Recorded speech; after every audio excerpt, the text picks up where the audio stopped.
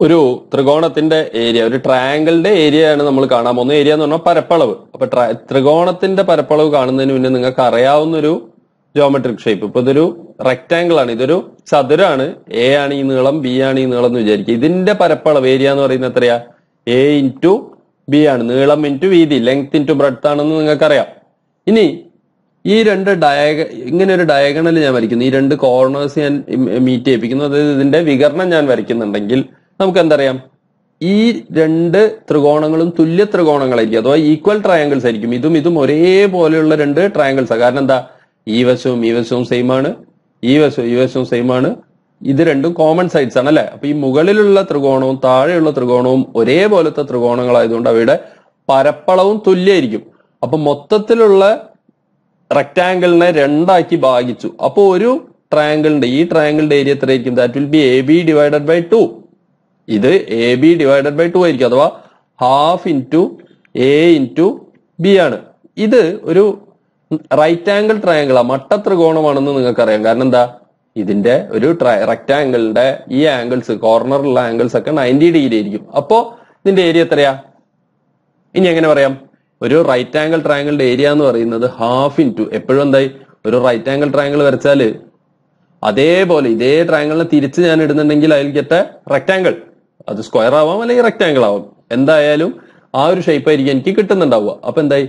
ഏതൊരു right angle ട്രയാങ്കിളിന്റെയും area എന്ന് പറയുന്നത് അതിന്റെ കറസ്പോണ്ടിങ് ആയ റെക്റ്റാങ്കിളിന്റെ പകുതിയാണ്. So half into A into B എന്ന് എനിക്ക് എന്ത് പറയാം? ഒരു റൈറ്റ് ആംഗിൾ ട്രയാങ്കിളിന്റെ ഒരു മട്ട ത്രികോണത്തിന്റെ പരപ്പളവ് ഏരിയ എന്ന് പറയാം. അല്ലെ?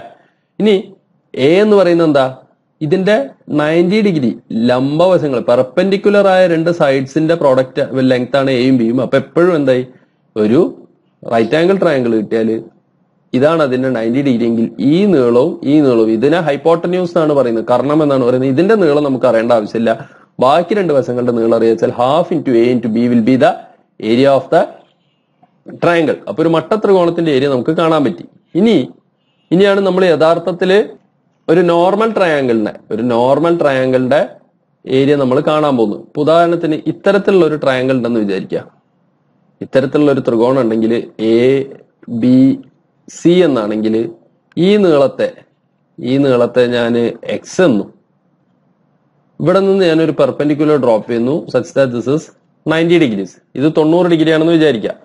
ഈ ഉയരത്തെ സിയിൽ നിന്ന് ഇയിലേക്ക് സിഇ എന്നുള്ള ഉയരത്തെ ഞാൻ എന്ത് റെപ്രസെന്റ് ചെയ്യുന്നു ചോദിച്ചാൽ ഞാൻ എച്ച് എന്നും റെപ്രസെന്റ് ചെയ്യുന്നു വിചാരിക്കുക. എച്ച് എന്നും ഞാൻ റെപ്രസെന്റ് ചെയ്യുന്നുണ്ടെങ്കിൽ നിങ്ങൾക്ക് എന്തറിയാം? ഇത് രണ്ട് ത്രികോണങ്ങളാണ്. അപ്പൊ ഇതിനെ ഞാൻ ഈ ദൂരത്തെ എ എന്നുള്ള ദൂരത്തെ ഞാൻ മറ്റൊരു പെന്ന് വെച്ച് മാർക്ക് ചെയ്യാം. എ എന്നുള്ള ദൂരത്തെ ഈ ദൂരത്തെ ഞാൻ എഫ് എന്നും അല്ലെങ്കിൽ ജി എന്നും ഇതിനെ ജി എന്നും. അപ്പൊ നാച്ചുറലി ഈ ദൂരത്തിൽ ഇത് മൊത്തത്തിൽ എക്സ് ആണ്. ഇത് ജി ആണെങ്കിൽ ദിസ് ലെങ്ത് വിൽ ബി ഈ ലെങ്ത് എത്രയായിരിക്കും? This length will be X minus G കാരണം എന്താ? ഇത് മൊത്തത്തിൽ എക്സ് ആണ്. അതിൽ നിന്ന് ജി പോയാൽ ബാക്കിയുള്ളത് എക്സ് മൈനസ് ജി ആണ് ഇവിടെ ഉള്ളത് ഇപ്പൊ രണ്ട് മട്ട ത്രികോണങ്ങളായി രണ്ട് റൈറ്റ് ആംഗിൾ ട്രയാങ്കിളുകളായി എ സി എന്ന് പറയുന്ന റൈറ്റ് ആംഗിൾ ട്രയാങ്കിളും സി ബി എന്ന് പറയുന്ന മറ്റൊരു റൈറ്റ് ആംഗിൾ ട്രയാങ്കിളും ഇങ്ങനെ രണ്ട് റൈറ്റ് ആംഗിൾ ട്രയാങ്കിൾ നിങ്ങളെ കയ്യിലുണ്ട്. ഇവയുടെ ഏരിയ ആണ് നിങ്ങൾ കാണാൻ പോകുന്നത്. അപ്പൊ ഈ ട്രയാങ്കിളിന്റെ ഏരിയ എനിക്ക് എന്ത് ചെയ്താം ഹാഫ് ഇന്റു അല്ലെ? എച്ച് ഇന്റു ജി ഇതിന്റെ ഏരിയ എനിക്ക് എന്ത് ചെയ്താം half into H into X minus C അല്ലെ? ഇനി ഇവ മൊത്തത്തിൽ കൂട്ടിയാലാണ് എനിക്ക് എന്ത് കിട്ടുക? ഈ രണ്ടും കൂടി കൂട്ടിയാലാണ് എ സി ബി എന്ന് പറയുന്ന ത്രികോണത്തിന്റെ ട്രയാങ്കിളിന്റെ ഏരിയ എനിക്ക് കിട്ടാൻ പോകുന്നു so I am going to add these two areas അതായത് ഈ രണ്ട് പരപ്പളവുകളും ഞാൻ കൂട്ടാൻ പോവാണ്. അപ്പൊ എന്തായി? പ്ലസ് ഇതും കൂടി ആഡ് ചെയ്യണം. Half into H into X minus G ഇനി ഇവിടെ നിങ്ങൾക്ക് എന്തറിയാം? ഹാഫ് ഇന്റു എച്ച് എന്ന് പറയുന്നത് പൊതുവായി വരുന്ന കോമൺ ഫാക്ടേഴ്സ് ആണ്. പൊതു ഘടകങ്ങളാണ് കോമൺ ആയിട്ട് വരുന്നതായതുകൊണ്ട് അവയെ പുറത്തെടുത്ത് ബാക്കിയുള്ള ബ്രാക്കറ്റിൽ ഇടാം. ഇത് ബേസിക് ഓൾജിബ്രൈക്ക് ഓപ്പറേഷൻ നിങ്ങൾ ഓൾറെഡി പഠിച്ചിട്ടുണ്ടാവും എന്ന് വിചാരിക്കുന്നു. ഹാഫ് ഇന്റു എച്ച് ഇന്റു അല്ലെ? G plus X minus G അല്ലെ? Half into H into G half into H into X minus C G plus X minus G ഇപ്പൊ എന്തായി? Half into H into X അതായത് ഏതൊരു ത്രികോണം വരികയാണെങ്കിലും ഈ ഒരു ഏതെങ്കിലും ഒരു വശത്തിന്റെ നീളം ഇന്റു ആ വശത്തിന്റെ എതിർമൂലയിലേക്കുള്ള പെർപെൻഡിക്കുലർ ഡിസ്റ്റൻസ് ലംബ ദൂരം ഇന്റു ഹാഫ് അല്ലെ?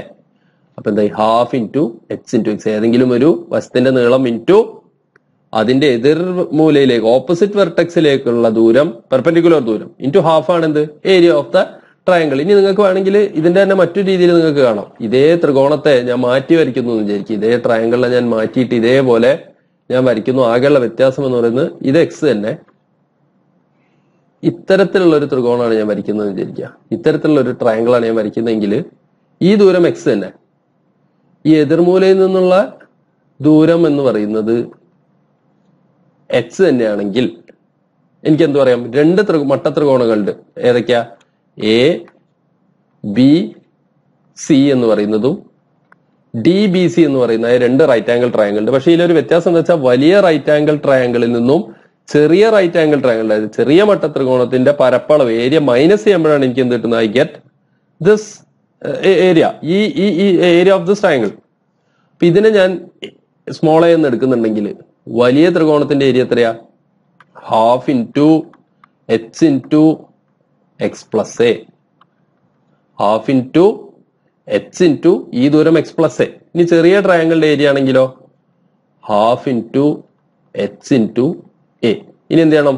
വലുതിന്റെ ഏരിയ മൈനസ് ചെറുതിന്റെ ഏരിയ വീണ്ടും half into H common factor ആണ്. Half into H into X plus A minus A ഞാനൊന്നും ചെയ്തില്ല. ഈ half into H half into H common factor ആയിട്ട് പുറത്തെടുത്ത് കഴിഞ്ഞാൽ X plus A minus A half into X into X അപ്പൊ എപ്പോഴും എന്ത് മനസ്സിലായി നമുക്ക്? ഏരിയ എന്ന് പറഞ്ഞു കഴിഞ്ഞാൽ ഒരു മൂല ഒരു സൈഡ് എടുക്കുന്നു അതിന്റെ ലെങ്ത് എത്രയാ നോക്കുന്നു അതിന്റെ എതിർമൂലയിലേക്കുള്ള ഇതിൽ നിന്നുള്ള പെർപെൻഡിക്കുലർ ആയ ദൂരം എത്രയാ നോക്കുന്നു പെർപെൻഡിക്കുലർ ഉയരം എത്രയാണ് നോക്കുന്നു. ഇവ രണ്ടും ഗുണിച്ച് ഹാഫ് കൊണ്ട് മൾട്ടിപ്ലൈ ചെയ്താൽ you get the area of the triangle